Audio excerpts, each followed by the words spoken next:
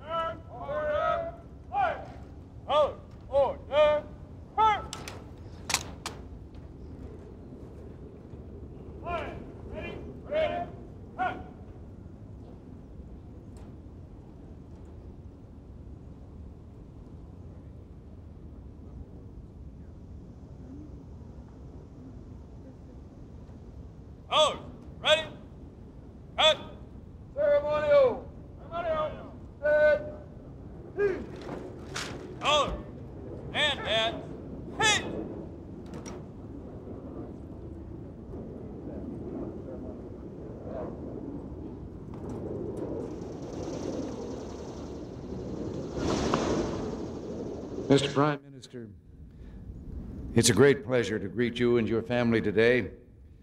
This is your first visit to the United States, and all Americans wish you a warm and heartfelt welcome. Over 36 years ago, Liaquat Ali Khan, one of Pakistan's proud founders and one of our predecessors, traveled extensively through our country. He told the American people of the friendship and goodwill the people of your then new country held for America and its ideals.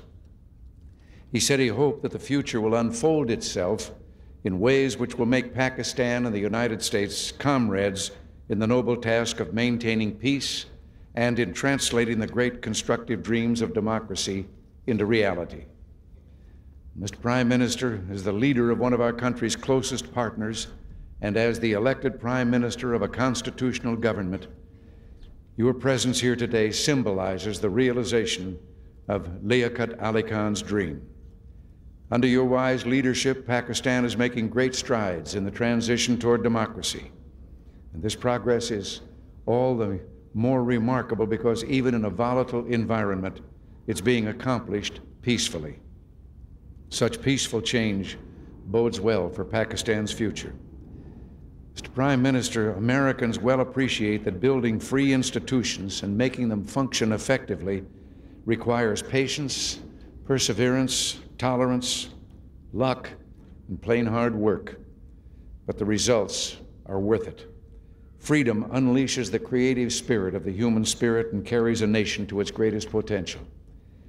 Pakistan is demonstrating this by its impressive rate of real economic growth, about 6% annually. Your country's agricultural base has been strengthened, and new industries have increased Pakistan's manufacturing capabilities.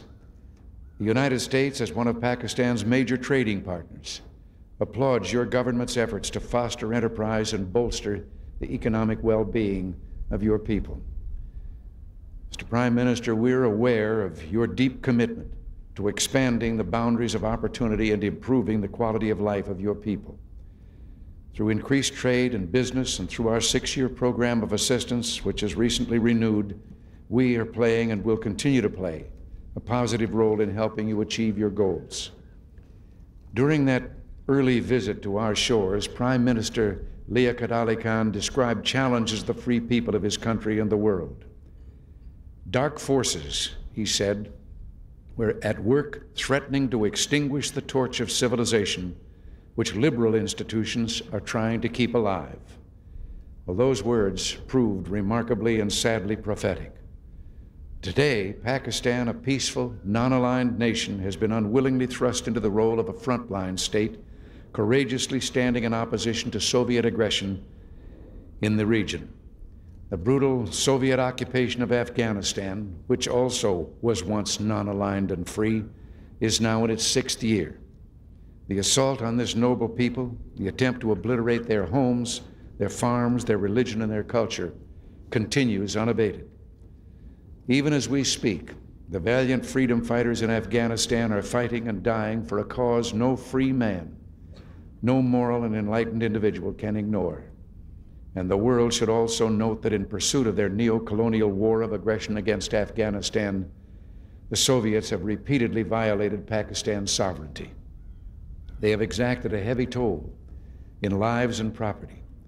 In the first six months of 1986, there were more attacks on Pakistan's territory than in all of 1985.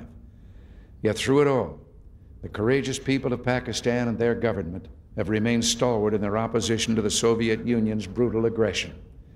America deeply admires Pakistan's steadfastness and bravery in this noble stand. Pakistan also has been admirable in its generosity toward the nearly three million Afghans who have fled their country, the single largest refugee population in the world. And by your actions, you have given new meaning to the historic traditions of Islamic hospitality. The United, United States is proud to be assisting you in this most humanitarian enterprise. Your outstanding economic achievements and the progress you've made in your transition toward democracy are even more impressive. Some might even say amazing, in light of the defense and refugee burden that you are forced to bear. The United States will continue to help where we can, economically and in the modernization of your armed forces. The cooperation between our two nations is as broad and deep as the friendship between our purples, peoples is firm and strong. I look forward to our talks today, Mr. Prime Minister, and I'm confident that we will both benefit greatly from the exchange. These talks give us an opportunity to reaffirm our commitment to stand together in the interest of peace, stability, and progress in Southern Asia and throughout the world. Mr. Prime Minister, we welcome you.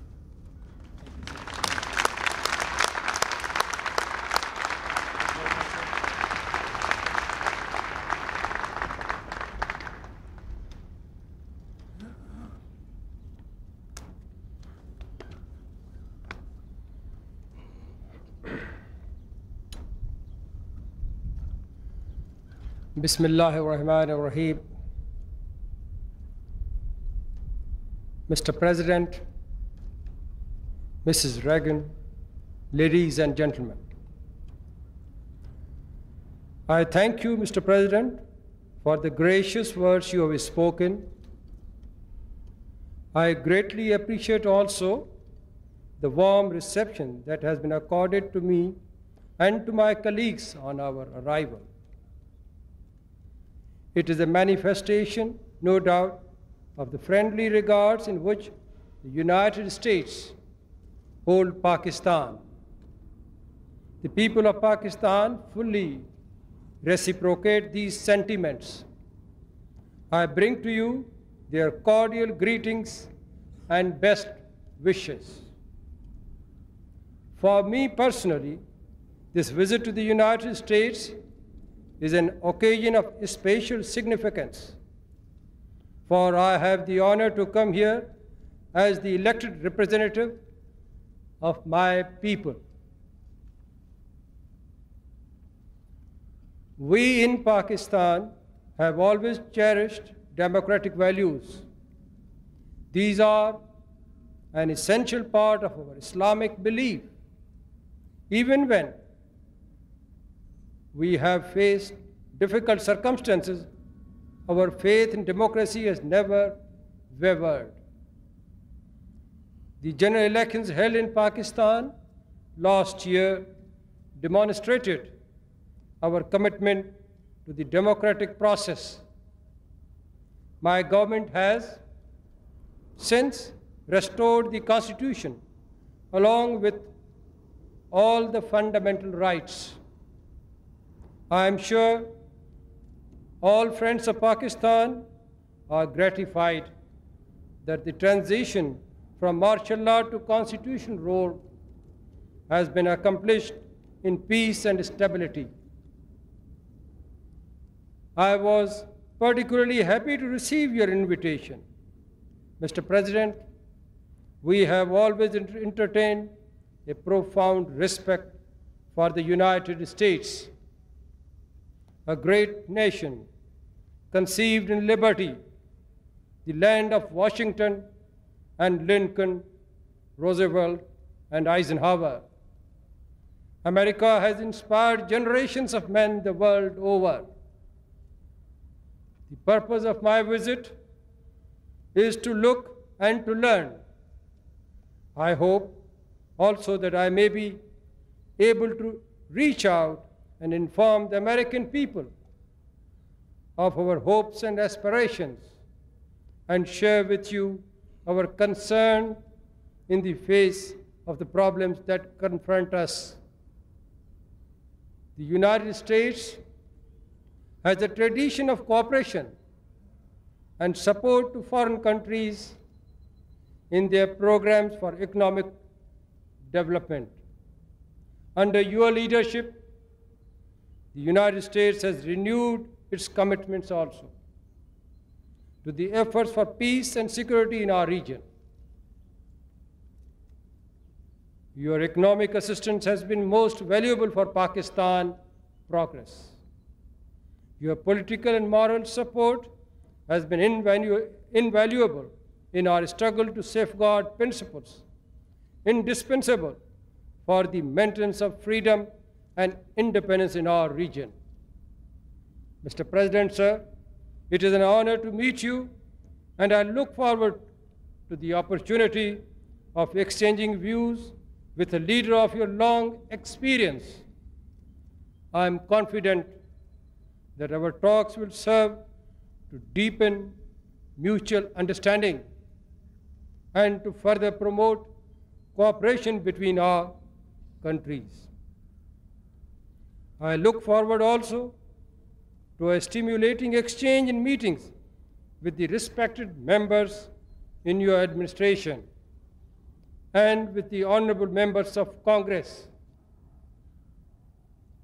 Myself, the members of the Parliament of Pakistan, and the members of my entourage look forward keenly to meeting the American people in different walks of life. Once again, I thank you, Mr. President, for your kind invitation. Thank you very much.